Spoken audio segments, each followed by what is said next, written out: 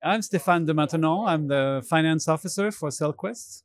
Uh, CellQuest is a French startup company that develops and manufactures uh, an automated uh, CAR T cell production system. Our machines were designed to uh, uh, automate the full process of uh, T cell production, to reduce labor costs, and to reduce the space requirements. We come here at Advanced Therapies to introduce our system to biotechs and CDMOs who want to simplify their production process.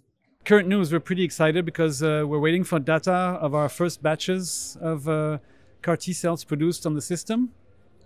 We'll be publishing the data uh, in the coming month in October. Uh, and then we'll have our machines available for evaluation with biotechs and CDMOs in uh, January of next year. Uh, our target is to have GMP production in 2026. Uh, so here at Advanced Therapies Europe, it's great because uh, we can meet people who are developing different types of uh, CAR Ts on TIL, on uh, CD19, and we can talk to, with them on how we can adapt our machines for different uh, T cell production systems and processes and to help them scale their production when they're ready to go to markets.